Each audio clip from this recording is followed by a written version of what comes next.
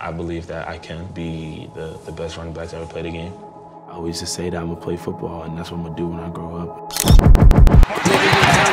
I'm counting my bullets, I'm loading my clips, I'm writing down names, I'm making a list, I'm checking it twice and I'm getting them hit. The real ones been dying, the fake He's ones the is best lit. running The back game is off prospect balance, who I'm ever back on lived. my shit. The Bentley is dirty, my sneakers is dirty, but that's how I like it. You all of my, I'm all in my. The New York Giants select Saquon Barkley, Barkley up the middle, cuts to the outside, complete to Barkley.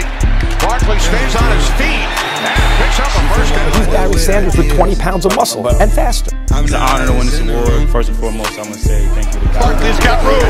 Saquon still running, hurdles up ahead and is spun down at the 44 yard.